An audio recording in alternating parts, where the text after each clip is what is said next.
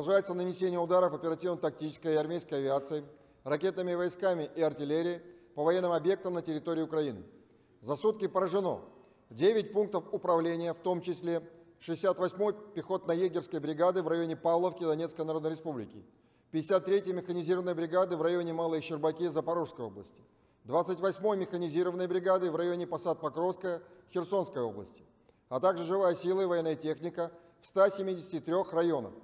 Уничтожено 6 складов боеприпасов в районах населенных пунктов Северск, Поросковиевка, Константиновка Донецкой Народной Республики, Терновка и Жовкнева Николаевской области.